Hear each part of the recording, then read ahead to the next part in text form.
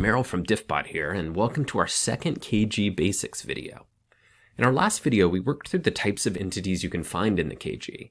In this video, we'll dive into how you actually find and explore these entities. As I had mentioned, there are 13 entity types, with four that have the most information.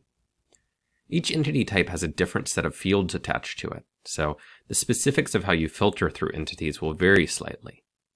For example, you can target an article entity around date or language or a topic. Meanwhile, you can target an organization entity by industry or market cap. In this video, we'll work through two quite different entity types just to give you an overview of search. First, organization search, then article search. Let's start with organizations. As you can see, I'm at the search dashboard at app.diffbot.com. The simplest organization search you can do is selecting the organization entity type and clicking search. This will return all entities that match the query. In this case, all orgs. While this search may seem a little useless because it's so broad, I would recommend getting into the habit of stepping through your query one filter at a time to make sure entities are being returned as you think they should be. So how can we narrow down our search? Notice after you click Organization, the option for a new filter appears. As you can see, a wide range are returned. These allow you to match specific entities or explore entire industries. In this example, let's say we're working on a finance use case. We want to find emerging green energy companies in Egypt. Now we could try and search for this in a search engine, and maybe someone has written a piece of content in a language you speak on the matter, and maybe they haven't, and Maybe it hasn't been updated, or who knows if the information is useful or not. So let's see how we can do this exact same thing with Diffbot's semantic org data. First, let's narrow down the query by country. That's under the filter for location.country.name. And notice how I've selected name contains and entered Egypt.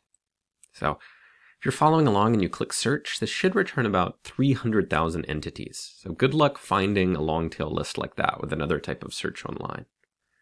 If you're wondering how this is possible, it's because uh, Diffbot actually crawls all of these organization pages and our AI gathers or infers facts from them. So there's no middleman for data, no interpretation of the data, no data as part of a sales pitch. It's just structured public web data.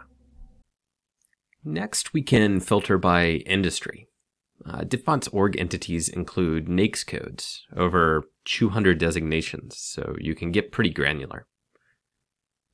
Uh, notice if you're following along uh, and you search for energy and utility companies, it looks like we can select renewable energy companies. And these aren't exclusive. Uh, just as in the real world, uh, organizations can work in many industries at once.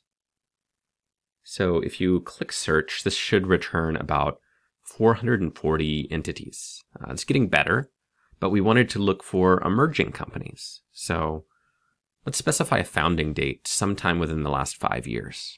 So I'll select founding date and after and select a date about five years ago.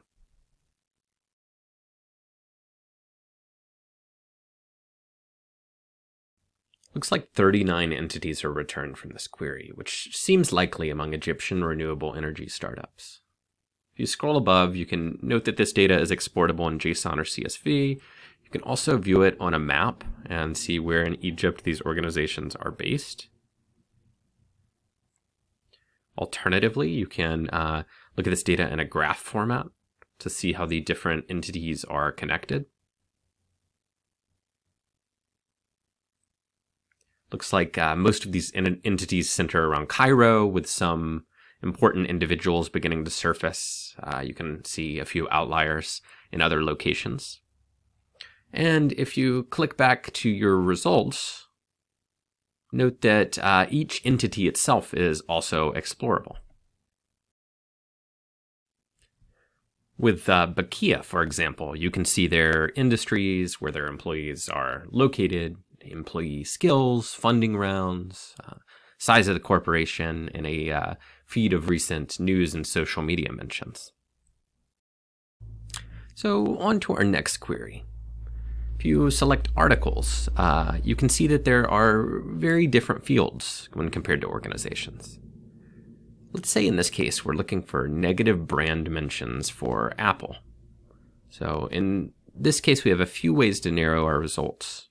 You can match text that's included in an article, uh, or you can match a topical tag that our AI has applied to the article. As Apple Inc. is a well-known entity, it's likely to have a tag of its own. So I'll enter Apple Inc. as a tag and click search. And it looks like over 2 million articles were returned. Let's narrow the search down to recent articles. So if you follow along with the steps I'm taking, this should return about uh, 9,000 articles from around the world.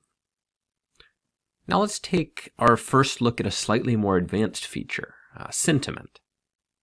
Sentiment isn't actually built into the visual query builder we've been using. Uh, it is included, however, for each one of our article entities. If you click uh, CSV in the upper right hand corner of the screen, note that sentiment is automatically toggled, and you can see a range of values in uh, column H. I've noticed the fact that sentiment ranges from 1, which is very positive, to negative 1, which is very negative. One way to access the score for articles is to export the CSV or JSON. In CSV, you could simply sort by sentiment to find the most positive or negative articles that match. Heading back to the query builder, I'll also show you a second way to gain sentiment within the KG interface. If you click on the Query tab, you'll leave the Visual Query Editor. What you're looking at now is DQL, or Diffbot Query Language.